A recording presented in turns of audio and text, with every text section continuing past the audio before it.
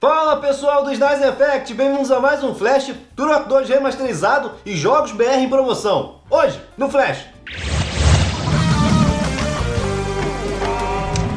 O jogo Rise of the Tomb Raider demorou para chegar no PlayStation 4, porque ele foi primeiro exclusivo para Xbox One, mas chegou e há tempo de comemorar os 20 anos da Lara Croft. Então, o que, que vai acontecer? A Square, promocionalmente, especialmente para essa ocasião, ela fez uma caixa retrô, como aquelas caixas de CD antigamente do PlayStation 1, para esse jogo, Rise of the Tomb Raider. É idêntico aquelas caixas de PlayStation 1 da época. Tem, é, é do tamanho certo de ser da caixa de CD, tem a capa, a contracapa, tem até o, o manual, saudade de manual daquele jeito. Tem o manual ali dentro, quando você abre, tem o jogo de PlayStation 4, lógico porque é só a edição especial, é só a capa, né? Não é o jogo, até porque imagina só o Rise of the Tomb Raider rodando no Play 1, não tinha nem como. A má notícia é que é uma edição extremamente limitada que não será vendida. Ela está sendo apenas enviada para alguns jornalistas da mídia especializada. Infelizmente, né? Quem você aí, você aí que é fã de Lara Croft e queria fazer a coleção comprando isso para você, não vai ter como. E você que é jornalista e teve a chance e a oportunidade de botar a mão nessa relíquia,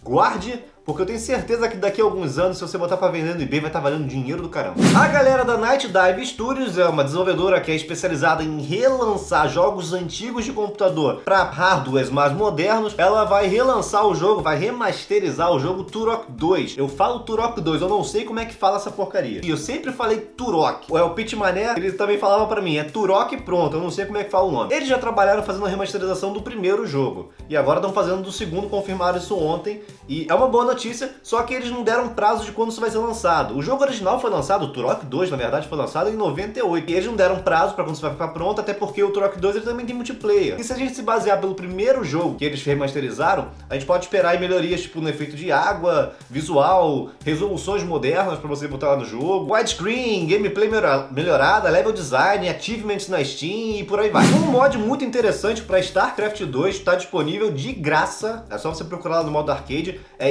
StarCraft Mod, o nome do mod. E ele é um mod feito pela galera da Carbot Animations, que eles fazem é, animações de alguns jogos. Também tem Heroes of the Storm lá que eu tava vendo mas eles fazem animações de, um jogo, de alguns jogos, inclusive StarCraft 2. Até esse mod eh, teve um crowdfunding há pouco tempo no Indiegogo e eles conseguiram 100 mil dólares. O interessante é que não é um, um mod de leve não, se você reparar bem na imagem, ele muda a porra do jogo inteiro, vira tipo um desenho animado. Tá muito bem feito. Eu já vi alguns vídeos na internet da galera jogando isso. Bem, tá de graça. Quem quiser, quem é fã de StarCraft e quiser ver como é que fica repaginado de um outro jeito, procura aí dentro do, da, da aba de arcade que você tem como baixar. E agora uma dica do tio Snice aqui, ó. Eu adoro compartilhar preço baixo é uma coisa interessante que todos deviam fazer. E eu, infelizmente, não estou recebendo para fazer essa divulgação. Mas, vamos lá. A loja virtual da nuvem tá vendendo 15 jogos brasileiros, todos brasileiros os jogos, por apenas R$19,99. Isso não é cada um. É tipo, a coletânea, 15 jogos por R$19,99. Mas, Nazen, tá caro. É, eu sei, mas se você pegar o preço original de todos os jogos, pelo menos segundo o site, tá lá que é 300 e poucos reais. E de 300 e poucos reais você vai pagar R$19,99. Parece uma promoção promoção interessante. A promoção ainda vai durar 13 dias, contando de hoje, né? Você então tem 13 dias para decidir se vai comprar ou não. E dentre os jogos, só para vocês terem uma noção, tem o Chrome Squad, que fez um sucesso do caramba quando saiu, tanto no Brasil quanto fora do Brasil. Oniken, que, porra, Oniken é bom pra cacete. Tem Thorin, que também foi muito falado quando saiu. Tem Aritana e a Pena da Árpia, que eu achei bonito o jogo, ainda não joguei, mas os vídeos que eu vi eu achei bem bonito.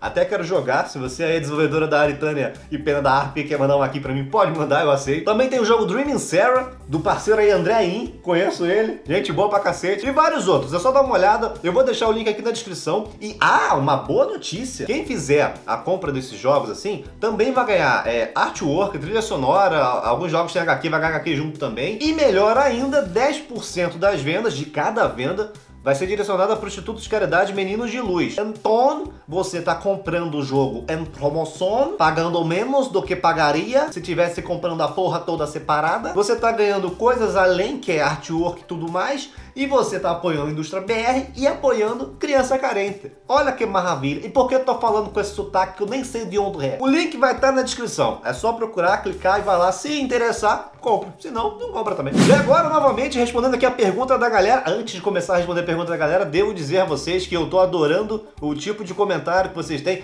A galera chega aqui no, no canal e comenta decentemente, vocês conversam sobre os jogos, é isso que eu queria ver, é isso que eu gosto de ver. Não é apenas um comentário idiota, vocês chegam com, com, com pensamentos e, e cada um tem a sua opinião sobre um jogo, sobre um tema e rola realmente uma conversa. Isso é saudável. Para mim o YouTube tinha que ser assim, entendeu? Mas infelizmente não é, né? Em tudo que é canto. Mas pelo menos aqui tá sendo.